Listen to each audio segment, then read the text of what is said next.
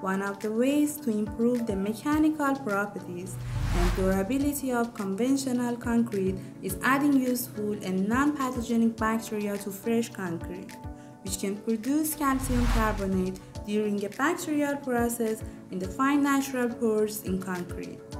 These microorganisms can increase the strength and durability of concrete with their filling properties. This biological process is generally known as the process of producing calcium carbonate by bacteria or MICP.